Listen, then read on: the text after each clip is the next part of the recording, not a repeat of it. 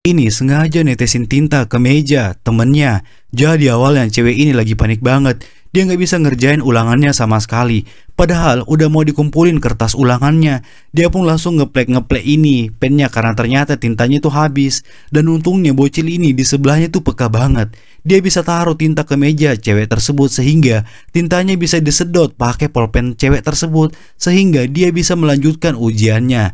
Dan karena tinta tersebut akhirnya mereka malah saling suka. Kalau di sekolah kamu ada nggak yang pernah pinjem pulpen kayak begini pada saat tintanya itu kehabisan? Ini nggak mau banget kampungnya dia dimasukkan internet Sampai akhirnya dia ngusir orang-orang internet ini. Padahal orang internetnya ini udah membujuk dia Kamu bisa menjalin silaturahmi bersama anak-anak kamu. Tapi ternyata si kakek itu nggak punya anak. Jadi tukang internetnya gagal juga. Sampai tiba-tiba pas internet masuk Si kakek mendapat notifikasi dari Mobile Legend. Di situ dia keasikan main Mobile Legend Dan akhirnya dia suruh tukang internetnya Untuk cepet-cepet masang internet di kampungnya. Ternyata cuma Mobile Legend yang bisa membuat dia semangat pakai internet Bocil ini selesai makan, dia selalu numpahin piringnya ke kolam renang. Jadi bocil ini tuh tinggalnya sendirian aja. Dia tuh bener-bener kayak kesepian banget. Nah, sampai satu hari ada polisi datang ke tempat dia untuk ngecek keluarganya dia. Kok tiba-tiba menghilang begitu aja. Namun si polisi udah curiga akan hal tersebut. Akhirnya polisi lewat belakang dan tiba-tiba melihat di kolam renang ada ibunya dia tuh datang tenggelam dan meninggal. Ternyata anaknya kalau udah selesai makan, taruh piringnya ke kolam supaya si ibu yang udah meninggal itu dicuciin buat dia karena terlalu psikopat. Memang cewek ini yang menghabisi nyawa keluarganya. Bahkan si ayah yang masih hidup sendiri dibakar hidup-hidup sama polisinya juga.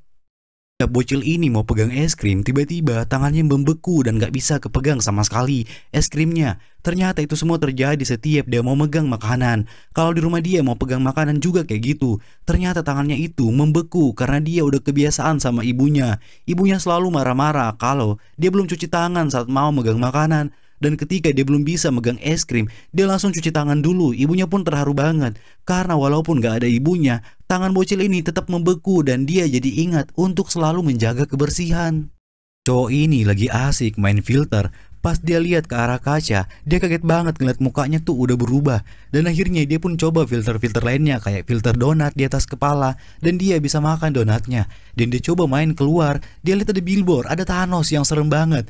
Dia langsung taruh muka kelinci yang bikin Thanosnya itu jadi lucu. Semua orang pun jadi ngakak waktu dia lihat cowok ini lagi marah-marah di telepon. Dia coba ganti muka cowok itu pakai filter marah sampai keluar asap dari jidatnya.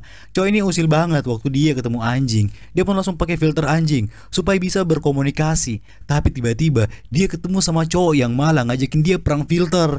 Nah, itu juga pakai filter aplikasi yang sama. Mereka pun saling mengubah wajah mereka satu sama lain.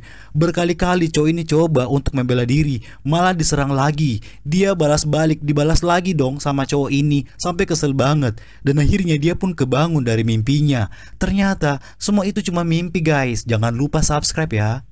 Ini yang terjadi kalau manusia introvert potong rambut di tempat manusia ekstrovert. Jadi manusia introvert ini lagi mau potong rambut, tapi dia maunya potongnya tipis-tipis aja. Cuman tukang salonnya itu terlalu ekstrovert dan terlalu ekspor, jadi dia tuh pengen banget potong rambut sesuai gayanya dia, sehingga jadi kependekan kayak gini. Nah, si cowok introvert pun berusaha untuk bilang kalau dia nggak suka sama potongan rambutnya, tapi akhirnya si cowok ekstrovert malah marah dan akhirnya membuat cowok introvert malah meninggal karena gunting. Jadi cowok ekstrovert tapi ternyata semua itu hanya ada di hayalan cowok introvert doang. Akhirnya walau nggak suka sama guntingan rambutnya, dia tetap bilang suka-suka aja. Kalau kalian pernah nggak ngalamin hal kayak gini?